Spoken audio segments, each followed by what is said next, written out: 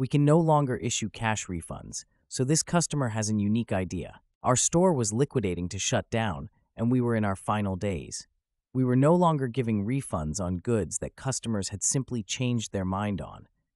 It was incredibly stressful, and customers were being outright rude despite the fact that everyone they were dealing with was being made redundant in days. One day, a guy came in and asked if we could refund a suitcase he bought and changed his mind on. He swapped it for a few other things, but he was still short by about $10 or so.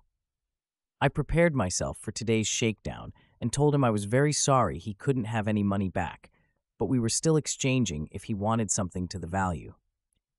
He started piling sweets, biscuits, cakes, etc. onto the counter and asked if they added up to the difference. Eventually, we were still about 10 cents short. I told him we weren't quite there, but we didn't have anything for 10 cents, so it was the best I could do. His response? I think you'll have trouble enough eating all of that. Cheerio! And off he went, leaving me with a giant pile of free food.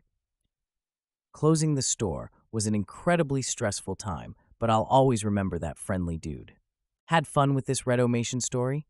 Hit the like button and subscribe for more.